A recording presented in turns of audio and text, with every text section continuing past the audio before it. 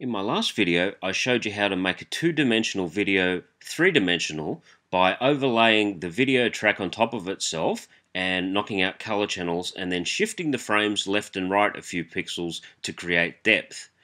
In this video, we're going to do a similar sort of thing, but what we're going to do instead of shifting the frames left and right to create the depth, we're going to delay the frames in the timeline by one or two frames, and as one frame drags behind the other, it'll also create an offset and giving us a parallax 3D effect.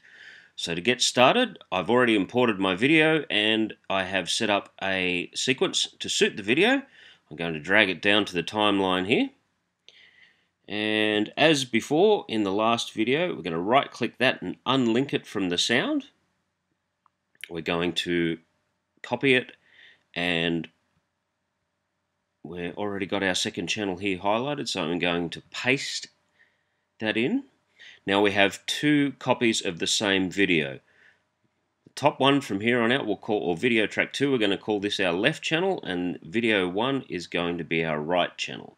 So now we need to do the color correction as we did in the last video. In image control you'll find an effect called color balance. I'm going to drag that over to the left channel, drop him on there, and we're going to do it again for the right channel. Now with the left channel, we want that to be our red channel. So with that highlighted here, as you can see, we're going to take out the green to zero and the blue to zero. I'll just move the playhead there so you can see what it's done to the video. We've made it red, completely red. Now if we select this middle channel, we can turn the red channel off and have a quick look at it. You'll see that that's all looks normal. What we're going to do for the right channel, because we want this one to be our blue channel, we're going to knock the red out of it completely. Okay, so that makes that look bluey green. Now, we'll go back to the red channel, and what we want to do to make the two look like, uh, so we don't lose all of our colors and make everything look right again, we'll go to opacity, and our blend mode, and we'll click linear dodge, or add, which adds the two together. Now we'll turn the red channel back on so you can see it, and it looks like it did when we started.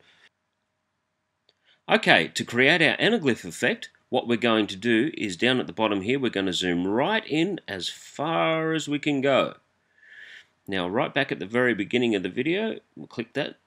Okay, now we're going to take our top track, our left track, and we're going to move it one, two frames to the right. Now what that's done is offset the, the way that the two channels play.